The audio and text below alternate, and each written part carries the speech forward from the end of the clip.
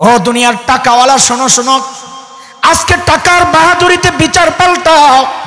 সেদিন চিৎকার করে করে কানতে হবে আর বলতে হবে, মা আগনা আন্নি মালিয়া। আমার মাল তো আমারে বাঁচাইতে পারতেছে না। আজকে ক্ষমতার দাপট দেখাও। সেদিন চিৎকার করে করে কানতে হবে আর বলতে হবে, হালাকা আন্নি সুলতানিয়া। আমার ক্ষমতাও তো শেষ, আমার এখন কে বাঁচাবে? আওয়াজ আসবে, আওয়াজ। মালিক আজাবের ফিরিস্তাদেরকে হুকুম করবেন খুজুহুক ফাকুল্লু সুম্মাল সল্লু। ধর, এগুলারে ধর, এগুলারে বান, বেড়ি পড়া। টাইনা টাইনা জাহান নামে লয়া যা, বলে বেড়ি কেমনে পড়াবে? আহারে, কোরআনের পরের আয়াত, সুম্মা ফি সিলসিলাতিন জারুহা সাবউনা জিরাআন ফাসলুকু। সত্তর গজ লম্বা শেকল দিয়া তাদেরকে পেঁচানো হবে। হজরত আবদুল্লাহ ইবনে আব্বাস ব্যাখ্যা করেন, এই লম্বা শেকল দিয়া কেমনে পেঁচাবে? আহ আহ হজরত আবদুল্লাহ ইবনে আব্বাস বলেন, ওই শেকলের মাথাটা নাকের ছিদ্র দিয়া ঢুকাইয়া পায়খানার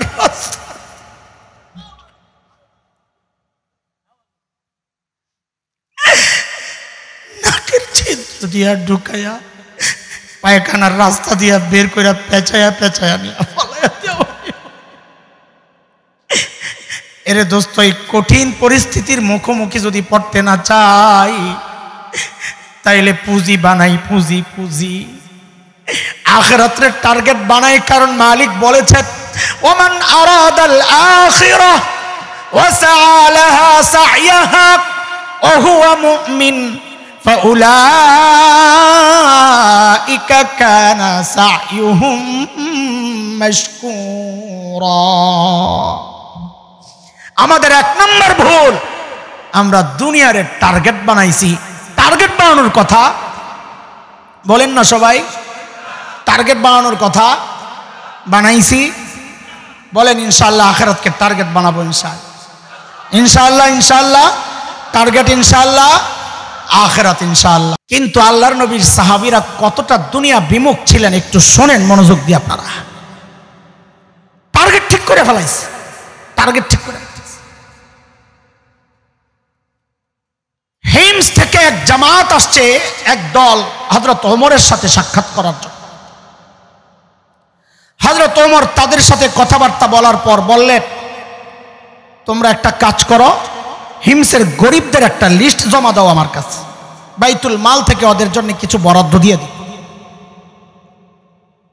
তো ওনারা চিন্তা করছে, সুযোগ যেহেতু পাইছি লিস্ট একটা করি, বড় সড়ো কইরা। আমগো মাদ্রাসার মোহতামিম যারা, আমরা যারা আছি আমগো যে কেউ এসে বলে, হুজুর আপনাকে মাদ্রাসার গরিব একটা লিস্ট দেন।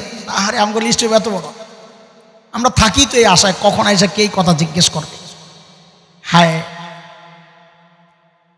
হিমসের লোকেরা একটা করছে বড়।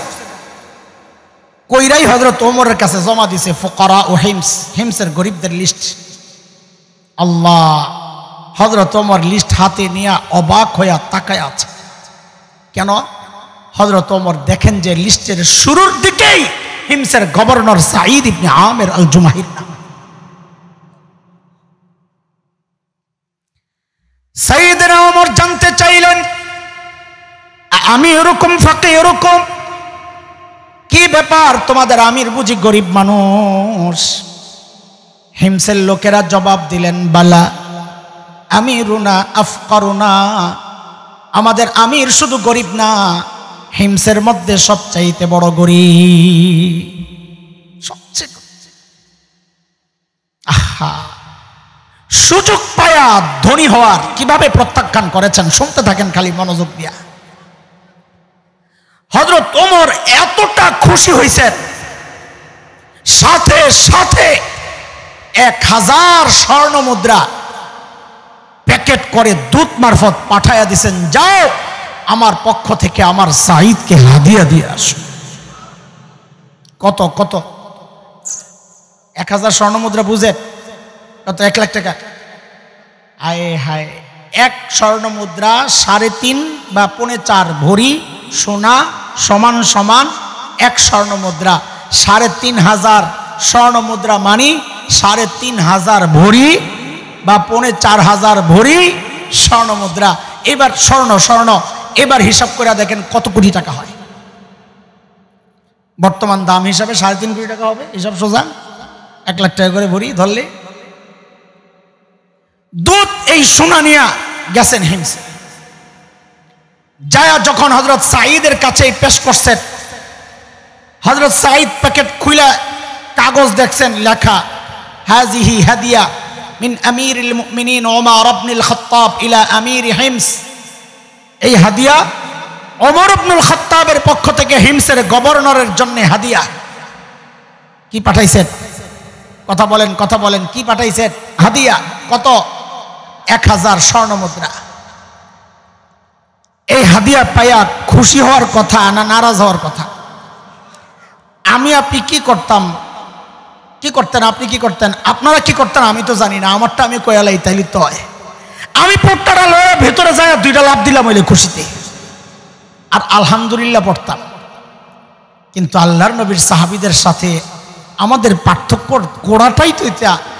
হজরত সাঈদ ইবনে আমির আল জুমাহি ওই প্যাকেট খুইলা যখন বুঝলেন এই বিশাল অঙ্কের হাদিয়া তার জন্যে তিনি সাথে সাথে প্যাকেটটা ছুড়ে মেরে চিৎকার দিয়ে বলে উঠলেন কি পড়ছেন হাদিয়া পাইলে ইন্নালিল্লাহ পড়ার কথা না, আলহামদুলিল্লাহ পড়ার আলহামদুলিল্লাহ পড়লে কি গুণা হইতো? বলেন, কথা বলেন। আলহামদুলিল্লাহ বললে গুণা হইতো? কি পড়ছেন ভেতর থেকে তো বউ ডরায় গেছে। আরে মদিনা থেকে দূত আসছে, না জানি কোন দুঃসংবাদ নিয়ে আইছে আল্লাহ জানে।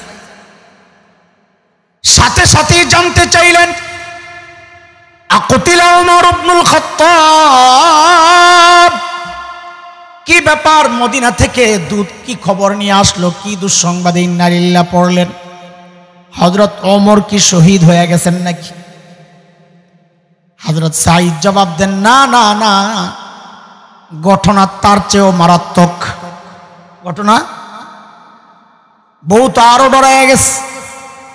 আবার জানতে চাইলেন, আকুতিলাল মুসলিমুন ফি মারিকা? তাইলে কি কোনো যুদ্ধে মুসলমান ব্যাপকভাবে শহীদ হয়ে গেল কিনা? হজরত সাইদ জবাব দেন, না না, ঘটনা তা না, তার চেয়েও মারাত্মক। বউ তো আরও ডরায় গেছে, কয়, আমার তো কলিজা শুকায়া যায়। তাড়াতাড়ি বলেন না আপনি, কেন এইভাবে নারিল্লা পড়লেন? এরে দোস্ত, মনোযোগ আসেনি আপনাদের? হজরত সাঈদের জবাবটা কেয়ামত পর্যন্ত আল্লাহর হাবিবের উম্মতদের জন্য একটা আদর্শ, শিক্ষার একটা বড় উপকরণ হয়ে গেছে। হজরত সাঈদ জবাব দেন, উদখিলাত আলাইয়া দুনিয়া ইহলা লিইহলাকি আখিরাতি। এইভাবে ইন্নালিল্লাহ কেন পড়ছি? বলে, আমার ঘরের দুনিয়া ঢুকায়া দেওয়া হয়েছে, আমার আখেরাত বরবাদ করার জন্যে। কীভাবে দুনিয়া ছাড়ছে? সাথে সাথে বিবেকে বললেন, আমায় একটা আবদার করতে চাই, রাখবা কিনা বল। বিবি বললেন, বলেন বলেন, কি বলার আছে বলেন।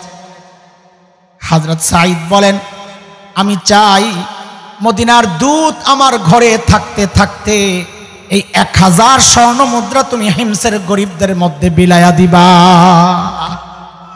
আল্লাহ আকবার চিল্লা এখন আরে, আরও চিল্লা এখন আল্লাহ আকবার। হযরত সাঈদ ইবনে আমির আল জুমাহি যখন বউকে বললেন, আমি চাই মদিনার দুধ থাকতে থাকতে সব বিলায়া দাও। তো বউ কি কয়, এর জন্য এত বেরেশানি কইলি তো হয়। আপনি অপেক্ষা করেন। আমি এখনই সব দিয়ে দিতেছি সুহান আল্লাহ এত আস্তে আল্লাহ আকবার। কি মানুষ ছিলেন? কি মানুষ ছিলেন? দুধ স্বামী স্ত্রীর এই সমস্ত কথাবার্তা শুইনার এই কারবার ইন্নালিল্লার শিক্ষার দেখা আল্লাহ কই আসলাম? এরা মানুষ না ফেরেস্তা দ্রুত ফেরত গেছেন মদিনায়। যায়া হজরত অমরকে সব গল্প যখন শোনাইছেন হজরত অমর এতটা খুশি হয়েছেন এতটা খুশি হয়েছেন সাথে সাথে বললেন, কাফেলা রেডি কর, আমার সাইদকে দেখতে যাও। ও দোস্ত, বিষয়টা এত সহজ ছিল না। এটা বর্তমান জমানে না, ট্রাভেলসে ফোন দিয়েছেন, দোস্ত, একটা টিকিট পাঠাইয়া দে, টাকা বিকাশ করতেছি। দোস্ত টিকিট পাঠাইয়া দিছে এয়ারপোর্ট যায় মোবাইলে মেসেজ দেখাইছেন বোর্ডিং পাস দিয়ে দিছে প্লেন উঠে গেছেন গা। তখনকার যুগে এত সহজে এক রাষ্ট্র থেকে আরেক রাষ্ট্র যাওয়া যায় না। প্রস্তুতির ব্যাপার থাকে, কত দূর সিরিয়া। হজরত ওমর রওনা দিছে। শুনতেছেন আপনারা মনোযোগ দিয়া? সাইয়েদিনা ওমরের কাফেলা যখন হিমসে ঢুকে, গোটা হিমস যেন ভেঙ্গে পড়ে। কেন? চারদিক থেকে হাজার হাজার নারী পুরুষ ছুটে ছুটে আসতেছে। কারণ কি? আরে আমাদের আমিরুল মুমিনিন ওমর ইবনুল খত্তাব আসতেছেন। আল্লাহর নবীর শ্রেষ্ঠ সাহাবি আসতেছেন এক নজর দেখার জন্যে। হজরত ওমর বসা হাজারো মানুষের জমায়েত। পাশে সাঈদ ইবনে আমের আল জুমাহি বসা, সিরিয়ার হিমসের গভর্নর।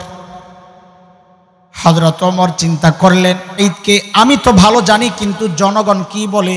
এই সুযোগে একটু পরীক্ষা করে নেওয়া যাক। সাইদিনা অমর জানতে চাইলেন হিমসের মানুষ, তোমাদের গভর্নরের বিরুদ্ধে কারও কোনো অভিযোগ আছেনি? থাকলে দাঁড়াও। হয়তো তোমার তো মনে করছে, এই বুজুর্গের ব্যাপারে আবার কিসের অভিযোগ? যেই না জিজ্ঞেস করছে, এক মুরব্বী কোনার থেকে দাঁড়ায় গেছে আসে ও লাভ দিয়ে দাঁড়ায় গেছে। আহা! বর্তমান জমানা একটু চিন্তা করেন তো। এই জমানায় ধরেন পাকিস্তানে, কোন জায়গায়? কোন জায়গায়? সবাই কোন সবাই কোন সবাই কোন, আমার বিপদে ভালো না। কোন জায়গায়? পাকিস্তানের প্রধানমন্ত্রী কোনো এলাকায় যায় যদি জনগণকে জিজ্ঞেস করত আচ্ছা আপনাদের এলাকার নেতার বিরুদ্ধে, এমপি সাহেবের বিরুদ্ধে, এমএলএর বিরুদ্ধে কারও কোনো অভিযোগ আসেনি? তো পাকিস্তানের মানুষ কি করত? করতে হইল, মাথাটা নিচের দিকে দিয়া চুপচাপ বয়া থাকতো। মনে মনে কি কইতো, অভিযোগ তো আছে, কিন্তু খারামো না খারাইলে আবার সকালে হুইয়া পড়া লাগবো। বলতো না, কোন জায়গায় কোন জায়গায়? আরও জোরে কর। খুশি তো? মার্শাল আপনারা খুশি থাকলে আমরা খুশি। দোস্ত, ইসলামী শাসন ব্যবস্থা যেখানে নাই, সারা দুনিয়ার একই চিত্র। নির্দিষ্ট কোনো দেশের দিকে ইঙ্গিত করে লাভ নাই। ইসলামী শাসন ব্যবস্থা আছে। জনগণের কথা বলার অধিকার আছে। ইসলামী শাসন না থাকলে জনগণ জুলুমে, নির্যাতনে পিষ্ট হবে। কথা বলার কোনো সুযোগ থাকবে না, এটাই স্বাভাবিক। ইসলাম নাই, অধিকারও নাই। যেই না একজন দাঁড়াইছে, মানুষের স্বভাব হচ্ছে মানুষ বড় অনুকরণ প্রিয়। দেখা দেখি অনেক কাজ করে। আপনি রাস্তার মাঝখানে ঘাটটা ব্যথা করতেছে। রাস্তার মাঝখানে দাঁড়াইয়া এরকম একটা বাঁকা করে উপরের দিকে তাকা হয়েছেন ঘাটটা একটু ইয়ে করতেছেন আর কি লাড়াসাড়া পাশ দিয়া যারা যাবে, অধিকাংশ দাঁড়াইয়া দেখবে, আপনি কি দেখতেছেন? কথা বলে না। এটা মানুষের নেচার মানুষ অনুকরণ প্রিয় এটাই যেই এক বুড়া দাঁড়াইছে, সাথে সাথে আরও তিনজন দাঁড়ায় গেছে। কয়জন হলো হায় হায় হজরত ওমরের কলিজা তো মোচড় দিয়া উঠছে। আরে কারে দেখতে আইলাম? ওর বিরুদ্ধে দেখি অভিযোগের শেষ নাই। এখন সোনার পালা। বলেন বলেন, এক নাম্বার, আপনার কি অভিযোগ? বলেন, কি সমস্যা? দেখেন, অভিযোগ কত মারাত্মক আল্লাহর নবীর সাহাবির বিরুদ্ধে। কামির মমিনিন, আমাদের গভর্নর না, মাসে একদিন অফিসে আসে না। কয়দিন? আরে, কয়দিনে একদিন? মাসে একদিন। আর আমরা তো সপ্তাহে ছুটি পাই দুই দিন। সপ্তাহে ছুটি পাই দুই দিন। আর এরা মাসে একদিন আসে না অভিযোগ। সাইদেরা অমর তো রাগ হয়ে গেছে। সাইদ জবাব দাও। কেন তুমি মাসে একদিন অফিসে আসো না? আসামির কাঠগড়ায় আল্লাহ নবীর সাহাব জবাব দিচ্ছেন মিনিট আপনি জানেন আমি গরিব মানুষ। এই যে আমার গায়ে দুই টুকরা কাপড় দেখতেছেন একটা লুঙ্গির মতো পরা, আরেকটা চাদরের মতো জড়ানো। আমিরুল মিনিট এই দুই টুকরা কাপড় ছাড়া আমার আর কোনো কাপড় নাই। বলে, আরে, মাসে অফিসে একদিন কেন আসো না? ওইটা না বলবা? বলে, এক মাস এই কাপড় পড়তে পড়তে পড়তে পড়তে দুর্গন্ধ হয়ে যায়। নিজেরও কষ্ট হয়, যারা আসে ওদেরও কষ্ট হয়। তাই মাসে একদিন কি করি? উপরেরটা ধুয়ে দেই শুকায়া গেলে নিচে পড়ি, নিচেরটা ধুয়া দেই, শুকায়া গেলে গায়ে জড়ায় এমন করতে করতে বেলা অনেক দূর চলে যায়, আসতে একটু দেরি হয়, আসি না তা না। উনি হয়তো সকালে সকালে আইসা আমাকে না পাইয়া ভাবছেন, আমি আসি নাই। আসি, দেরি হয়। হাজরত অমরের দিল তো একটু শান্ত হয়েছে এই নিয়ে অভিযোগ। দাঁড়ায় গেছে যেহেতু, এখন তো শোনা লাগবে। বলেন দ্বিতীয় জন, আপনার কি অভিযোগ? বলেন। দ্বিতীয় জনের জনের অভিযোগ আরও মারাত্মক। কি বলে জানেন? আমিরুল মমিনিন, আমাদের গভর্নর রে আমরা দিনে তো পাই, কিন্তু রাতে আর খুঁজা পাই না। কি ডিউটি লইছে বেড়া, হেরে রাতেও সময় দেওয়া লাগে। দেখছেন সাইদিনা অমর খুব রাগ হয়ে গেলেন। সাইদ জবাব, কেন তোমাকে জনগণ রাতে পায় না? আল্লাহ। হজরত সাহিদ জবাব দিচ্ছেন, আমিরুল মুকমিনীর কসম তু হায়াতি বাইনা রব্বি ও বাইনা ইবাদি। আমিরুল মমিন জীবনটারে দুইটা ভাগ করছি। এক ভাগ দিনটা মালিকের বান্দাদেরকে সময় দেই, আরেক ভাগ রাতটা মালিকের মালিককে সময় দিই। কীভাবে জীবনকে সাজাইছেন? রাত মালিকের, দিন মালিকের বান্দাদের আচ্ছা বলেন তো, এই যে মালিকের বান্দাদের জন্য সময়টা, এটাও কি মালিককে দেওয়া না? ওই কথাই বলেছিলাম। সাহাবা একরাম, আখরাতের কাজের সাথে সাথে যে দুনিয়ার কাজও করছেন, তার মধ্যেও উদ্দেশ্য দিনই মালিককে টাইম দেওয়ার সময় তারা নির্ধারণ করেছেন আহ, আফসোস। আমাদের হাতে তো সময় নাই মালিককে টাইম দেওয়ার। কারণ আমরা অনেক ব্যস্ত মানুষ। কত কাজ কত কাজ কত কাজ হ্যাঁ এরে জালিম, আমি আর তুমি ছাড়া দুনিয়ার সব মালিককে টাইম দেয়। ওই একটা গাছের দিকে তাকায়া দেখো কি মনে হয়। গাছটা বুঝি এমনি দাঁড়ায় আছে। না না না। ওই গাছটাও দাঁড়ায়া দাঁড়ায়া মালিকের তেজবি পড়ে। যে কুকুরটাকে নিকৃষ্ট প্রাণী মনে করে তাড়ায়া দাও, ওই কুকুরটাও রুকুর হালতে মালিকের তেজবি পড়ে। যে পোকামাকড়গুলো রে পায়ে দলে তুমি মেরে ফেলো, ওই পোকামাকড়গুলো সেজদার হালতে মালিকের তেজবি পড়ে। পড়ি না, কেবল আমি আর তুমি, কারণ আমাদের হাতে সময় নাই। আমরা ব্যস্ত মানুষ। এই হায়াতের একটা ভাগ মালিককে দেওয়ার টাইম কোথায় আমার? অথচ এই হায়াতের একটা ভাগ কিন্তু ফেসবুক ঠিকই পায়। এই হায়াতের একটা ভাগ কিন্তু ইউটিউব ঠিকই পায়। এই হায়াতের একটা ভাগ কিন্তু খেলোয়াড়েরা পায়, গায়ক, গায়িকা পায়, নায়ক, নায়িকা পায়। আমার সন্তান পায়, পরিবার পায়, সমাজ পায়, এমনকি আমার নেতাও পায়। আহ, পায় না কেবল আমার মালিক। মালিককে টাইম দেওয়ার সময় আমার হাতে নাই। সময় বন্ধ একদিন আসবে, কিন্তু করার থাকবে না কিচ্ছু। সেদিন আফসোস করে করে শুধু কানতে হবে আর বলতে হবে, ইয়া লাইতানি কদ্দাম তুলি হায়াতি আরে সময় মতো যদি একটু পুঁজি বানায় আসতাম, তাইলে তার বাম হাতে আমল নামাটা নেওয়া লাগে না। বাম হাতে আমল নামা নিয়ে কানবে আর বলবে, আহারে, আমল নামা যদি আমারে না দেওয়া হইতো ও আম্মা মান ওতিয়া কিতাবাহু বিশিমালি ফায়াকুলু ইয়া লাইতানি লাম উতা কিতাবিয়া। ولم আদরি মা হিসাবিয়া يا ليتها كانت কাদিয়া, মা আগনা عني মালিয়া, হালাকা আন্নি সুলতানিয়া। বাম হাতে আমল নামা পাইয়াই দিবে চিৎকার আর বলবে, আহারে, আমল নামা যদি আমারে না দেওয়া হইতো, আমি জানি না এখন আমার হিসাব কি হবে। আহারে, মৃত্যু পর্যন্তই যদি সব শেষ হয়ে যেত তাহলে হয়তো বেঁচে যেতাম। মেহনত করা দরকার রুহের মধ্যে। মেহনত চলতেছে বস্তুর মধ্যে আমরা বস্তুবাদী হয়ে গেছি। আরে আমাদের দিনই কাজেও বস্তুর মধ্যে মেহনত চলতেছে আমি একটা উদাহরণ দিলে বুঝবেন। মাহফিলের পোস্টার বানায় মসজিদের পক্ষ থেকে মাহফিল। পোস্টারে কি লেখে?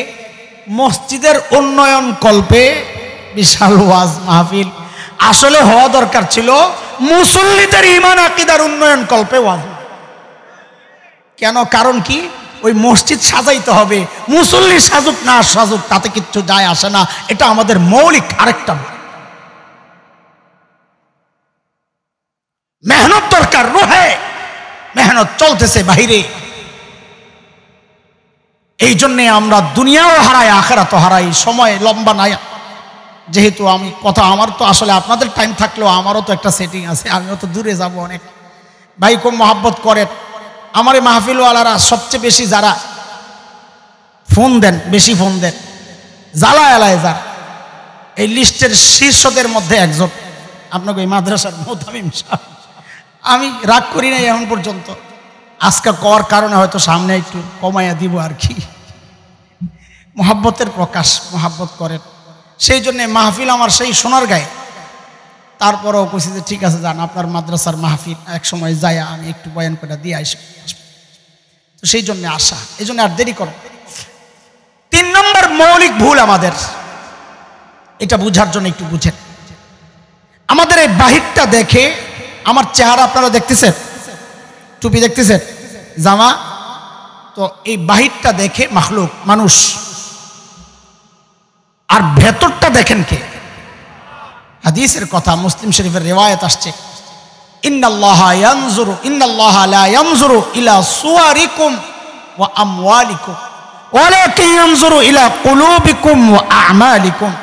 আল্লাহ তাআলা তোমাদের বাহ্যিক দেখেন না, মাল দেখেন না, আল্লাহ দেখেন তোমার আমল এবং তোমার কলব। তাহলে আল্লাহ দেখেন ভিতর মানুষ দেখে, বলেন বলেন। আল্লাহ দেখেন ভেতর মানুষ দেখে আমরা কতটা খারাপ চিন্তা করেন? এ, আমিও আছি আসামি। আপনারা মনে করেন আমি আসামি না। আমিও আসামি। আমি আগেই বলে নিছি। আমরা কতটা খারাপ? যেটা মালিক দেখেন খালিক দেখেন, ওইটার মধ্যে ওইটাকে পরিষ্কার, পরিচ্ছন্ন রাখার ফিকির আমাদের মাথায় নাই। যেটা মানুষ দেখেন, ওইটাকে সুন্দর করার জন্য আমাদের কত টেনশন আর কত পেরেশানি। বিশেষ করে আমাদের মা বোনদের, একটু লাগছে দাগ। এটারে লইয়া খালি আয়নায় যাইব। সুনু মাখবো, মলম মাখবো এটা মাখবো এটা খালি হারা দিন খালি এমনই করে। আরেক বড় বোনরে পরামর্শ চায়। বোনরে, তোমারও তো বড় ছিল, কেমনে দূর করছ? একটু পরামর্শ দাও। কত পেরেশানি, অথচ আখলাক নষ্ট, ভেতর নষ্ট, তার কোনো পেরেশানি নাই।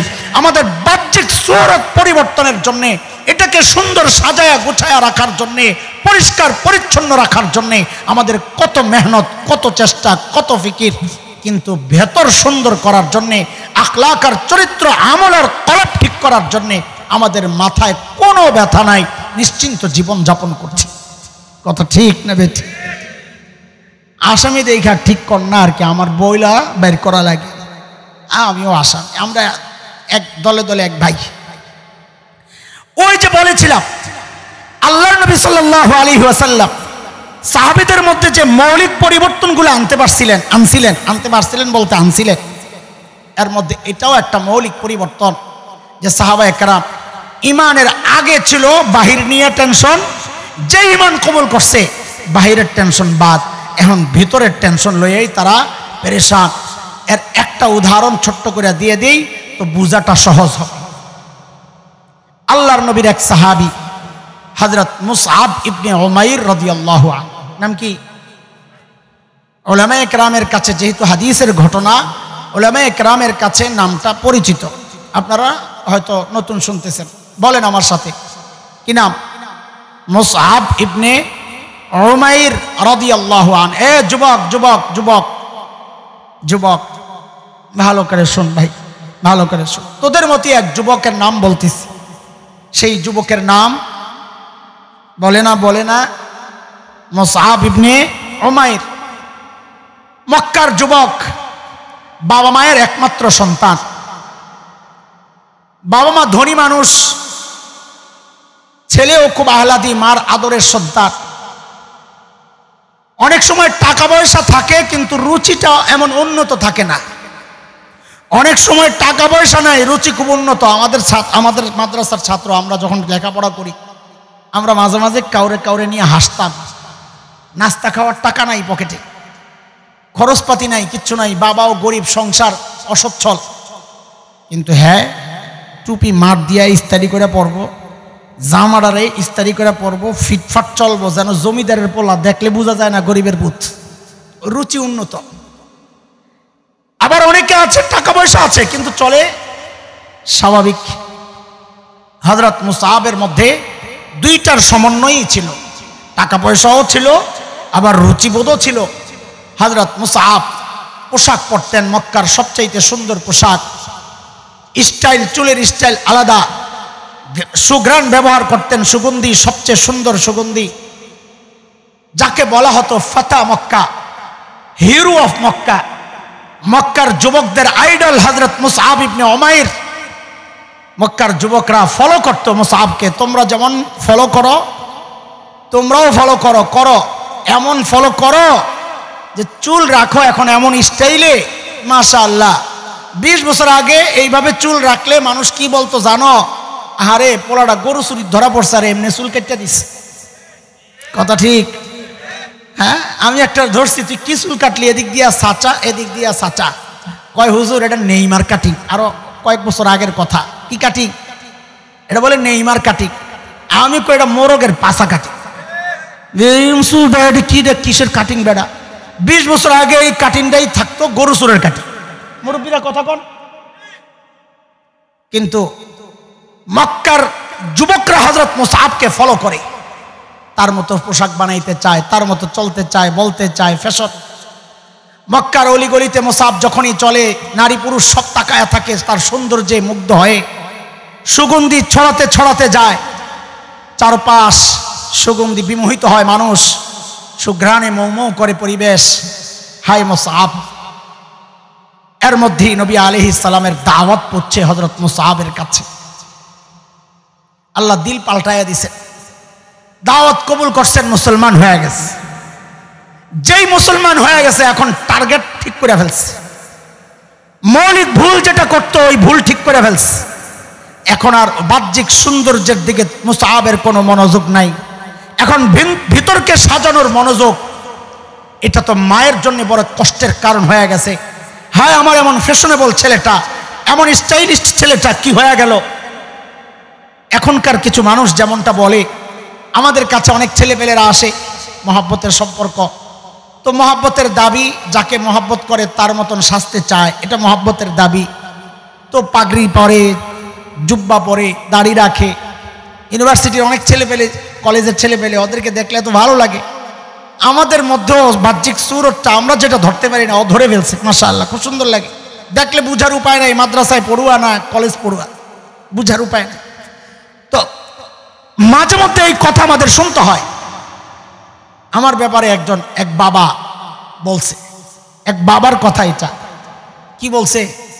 যে এই মোল্লার কাছে যাইয়া আমগো মহল্লার সবটি পোলাবেন বরবাদ হয়ে গেছে। ওই যে সুরত পাল্টা হয়ে গেছে, এখন মোল্লা হয়ে গেছে সব। ঠিক এই কথাটাই মুসাহাব ইবনে ওমায়ের মা বলেছে। এই বড় মোল্লা, বড় মোল্লাকে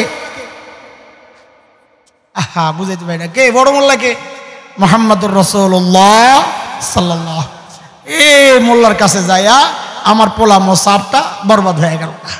মার কষ্ট, বুঝায়, বুঝ মানে না। কারণ ইসলাম যে কবুল করে, তার ওই ইসলামের বুঝই, তার বুঝ, দুনিয়ার বুঝ, তার আশেপাশে আর ভিড়তে পারে না।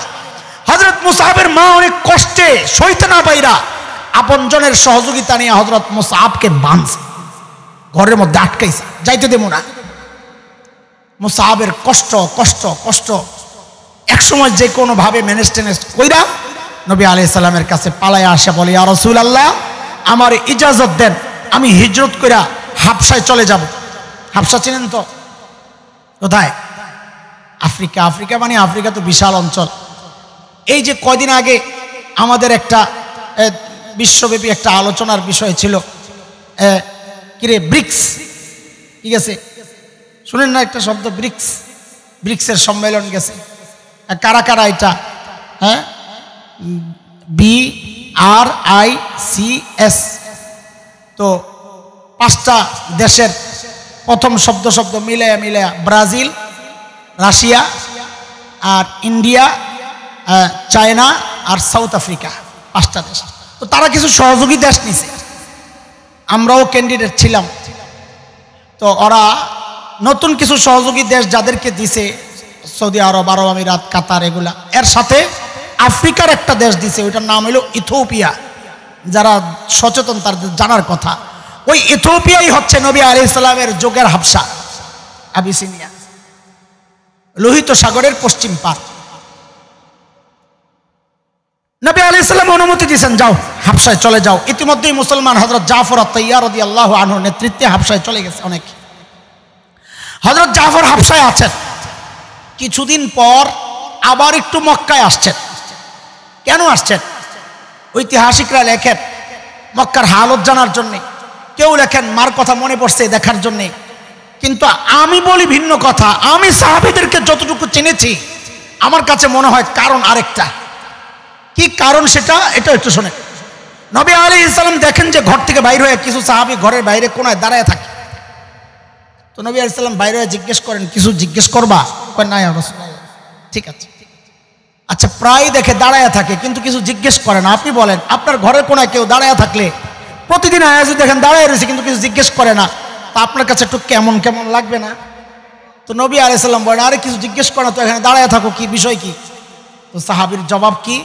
ইয়া রসুল্লাহ ঘর থেকে বের হইতো এই নিয়তে, কখন আপনি একটু বের হবেন, আপনার একটু দেখবেন কারণ সাহাবায়ে কেরাম নবীকে দেখার জন্য অস্থির থাকতেন। তো আমার কাছে মনে হয় হজরত মোসাহাব মক্কায় ঢুকছেন, মাকে দেখার জন্যে না, মক্কার খবর নেওয়ার জন্যে না আরে কতদিন নবীরে দেখি না সাল্লাহ আলি সাল্লাম? একটু হাবিবে কিবরিয়ার চেহারাটা দেখার জন্য। কিন্তু বিধিবাম আবার ধরা পড়ছে। আবার ধরা পড়ছে। মানে আবার আটকাইছেন লম্বা হিস্টোরি আমি ওদিকে যাচ্ছি না। আবারও কোনো রকম ছুটা টুইটা নবী আলি সাল্লামের কাছে আসছেন। এর মধ্যেই নবুয়তের এগারোতম বছর হিজরত না, নবুয়তের নবুয়তের এগারোতম বছর মদিনা থেকে আসছে কিছু মানুষ, মুসলমান না। যারা আসছে হজ করার জন্যে। মুসলমান ইসলামের আগেও মানুষ হজ করত। হজ করার জন্য আসছে। নবী আলি ইসলাম দাওয়াত দিছেন। তারা মুসলমান হয়ে গেছে। বায়াত আকাবা হয়েছে প্রথম বায়াত আল উলা তারা চলে গেছেন। এই বায়াত হয়েছে চুক্তি। আপনি মদিনায় আসলে সর্বোত্তক সহযোগিতা আমরা করব। আসেন, ওয়েলকাম। তো এটা করে তারা চলে গেছেন। খুব খেয়াল করেন। দ্বিতীয়বার নবুয়তের বারোতম বছর।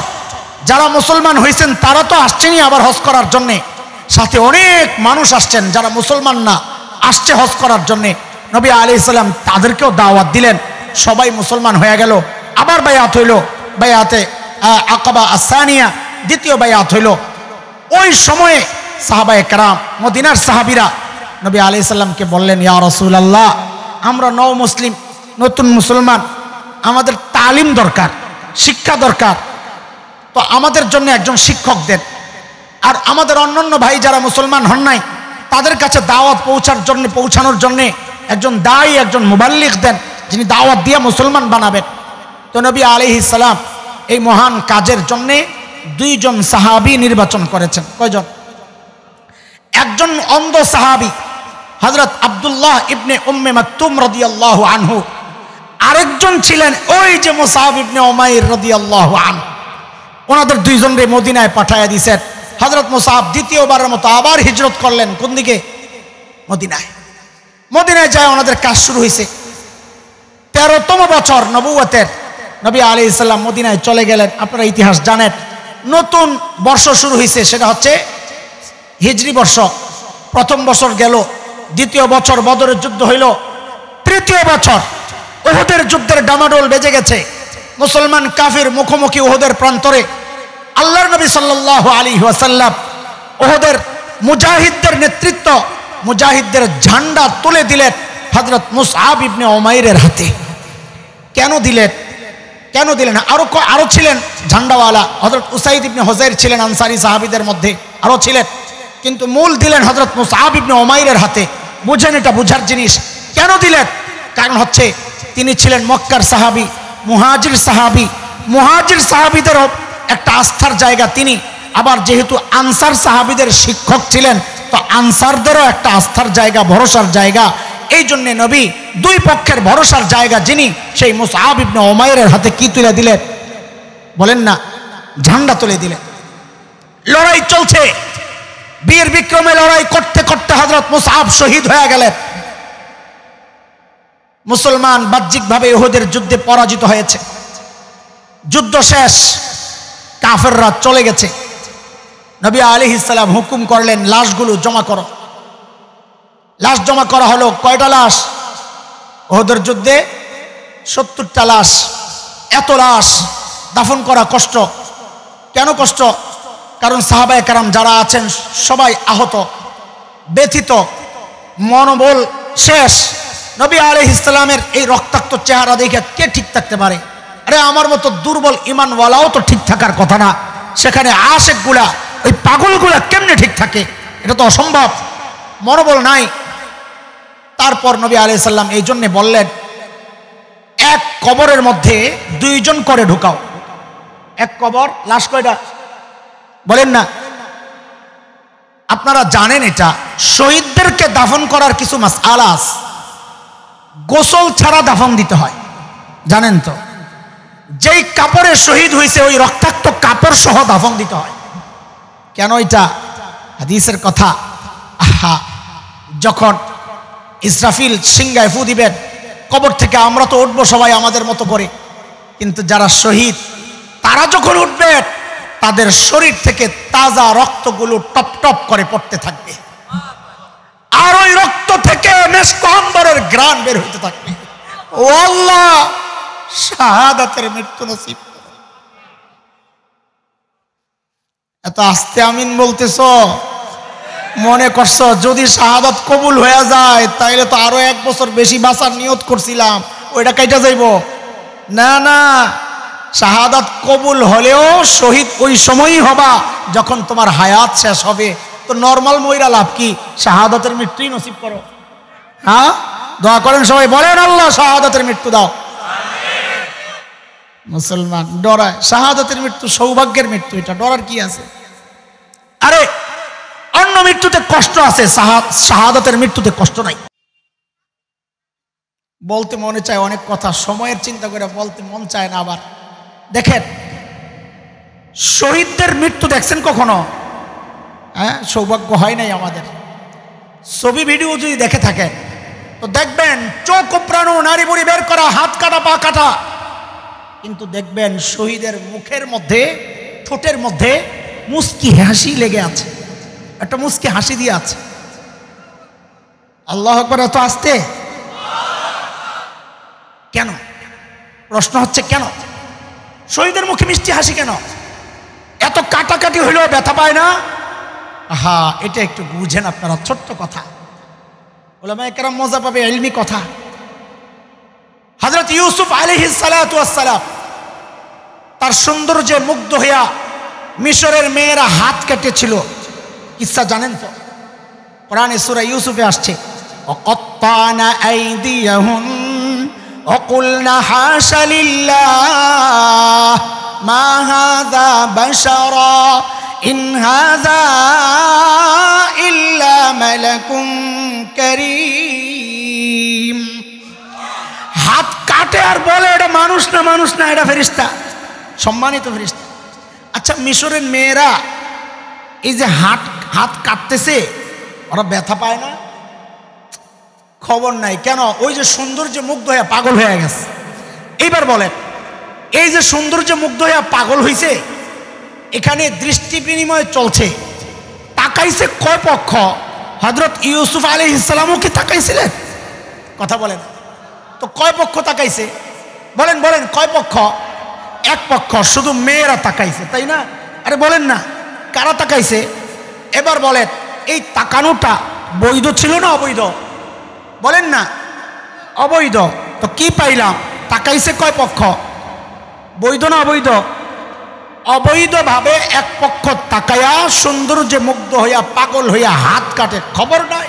শহীদ যখন দুনিয়া থেকে বিদায় নেয়, তখন তার এক পক্ষের দৃষ্টি বিনিময় চলে না। সেখানে বহু পক্ষ একসাথে হয়ে যায়। বলে, বহু পক্ষ কর্তৃকা আসলো? বলে, শহীদ যখন দুনিয়া থেকে বিদায় নেয়, আল্লাহর সামনে জান্নাতের দৃশ্য ঘুরাইতে থাকে, শহীদ তাকায় থাকে, জান্নাতের হুর গিলমানের দিকে, হুর গিলমান ওকে ডাকে, হুর গিলমান তাকায় আছে শহীদের দিকে, দুই পক্ষের বৈধ দৃষ্টি বিনিময় চলছে, যুক্ত হয়ে গেছে আরেক পক্ষ, মালিক আর সে আজিম থেকে তাকায় তাকায় মুস্কি হাসা হাসতেছে। পক্ষ কয়টা? ও আল্লাহ, শাহাদাতের মৃত্যু নসিব এরপরও জোরে আমিন কবি না। এখন হচ্ছে দাফন করার পালা। মনে আছে কথা? শেষ, খুব সংক্ষেপ করতেছি আমার, তাড়াহুড়া আছে। হজরত আব্দুর রহমান ইবনে আউফ, বুখারির বর্ণনা এটা। বুখারিতে দুইজন বর্ণনাকারী এই হাদিসের। হজরত খব্বাব ইবনুল আরিত রদি আল্লাহ আনহু একজন। আরেকজন হজরত আব্দুর রহমান ইবনে আউফ রদি আল্লাহ আনহু। হাদিস চার হাজার পঁয়তাল্লিশ নম্বর হাদিস বুখারিস হজরত আব্দুর রহমান ইবনে আউফ ছিলেন ধনী মানুষ। সাহাবিদের মধ্যে যারা ধনী ছিলেন, আব্দুর রহমান ইবনে আউফ একজন। হজরত আব্দুর রহমান ইবনে আউফ রোজা রাখছেন। ইফতার সামনে হাজির করা হয়েছে। হাদিসের শব্দ উতিয়াবি তো ইফতার সামনে হজরত আব্দুর রহমান ইবনে আউফ ইফতারে হাত না দিয়ে কান্না করতে করতে সরে গেছে। খাইতে পারতেছেন কেন? বলতেছিলেন, আহারে, আল্লাহ এই যে আল্লাহ এত নিয়ামত দিছেন, না জানি এটা আমলের, আমার আমলের নগদ পুরস্কার।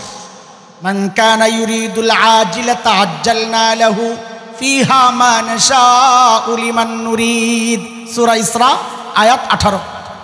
নগদ পুরস্কার না জানি। কিন্তু আল্লাহর নবীর কিছু সাহাবি এমন ছিলেন, যারা তাদের আমলের নগদ পুরস্কার নেন নাই, আখেরাতের জন্য রেখে দিছেন।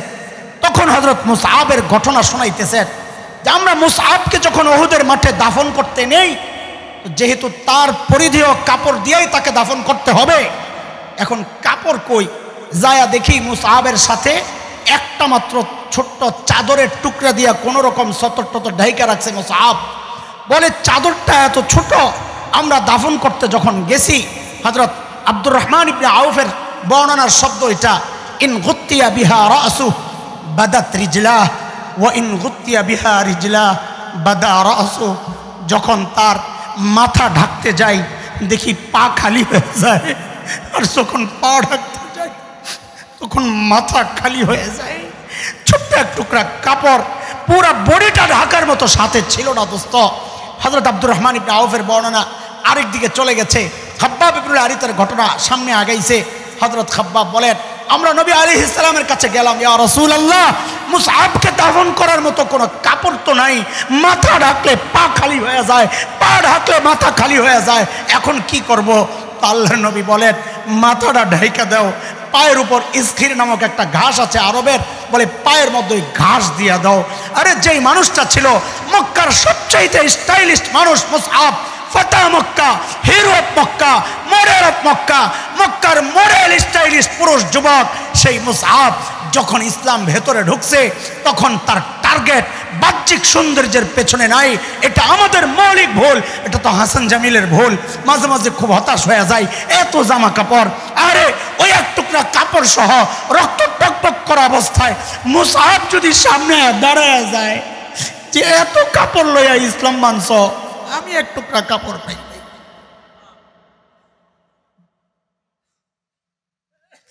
দোস্ত, এটা আমাদের মৌলিক আরেকটা ভুল। কাপড় পরিষ্কার, পরিচ্ছন্ন রাখেন, মানা নাই। তৌফিক থাকলে পরে কিন্তু আসল খেদমত, আসল বিষয়ে যেন ভুল না করি, বাহ্যিক সাজানোর চেয়ে ভেতরকে সাজানো বেশি দরকার। আখলাকার চরিত্র ঠিক করা বেশি দরকার, এটা আমাদের মৌলিক আরেকটা ভুল। কয় ভুলের কথা বলেছি? বলে এক নাম্বার, আমাদের ভুল আমরা টার্গেট আখরাত না বানাইয়া বানাইছি। দুই নাম্বার ভুল, মেহনত দরকার, রোহে বস্তুবাদী সমাজ মেহনত করতেছি বস্তুতে।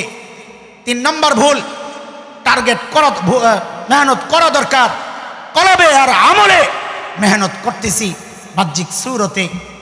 চার নম্বর মৌলিক ভুল হচ্ছে, আমি আর ব্যাখ্যায় যাব না, এটা আবার কখনো আসলে ব্যাখ্যা এটাই দিব ইনশাল্লাহ মেহনত করা দরকার, কলবে মেহনত করতেছি ব্রেনে। হ্যাঁ স্কিল ডেভেলপমেন্টের নামে সন্তানকে কত কিছু শিখাই, কম্পিউটার, ইন্টারনেট, এটা, ওইটা ওইটা সব শিখাই। রেজাল্ট কি? পত্রিকাওয়ালাদের রিপোর্ট।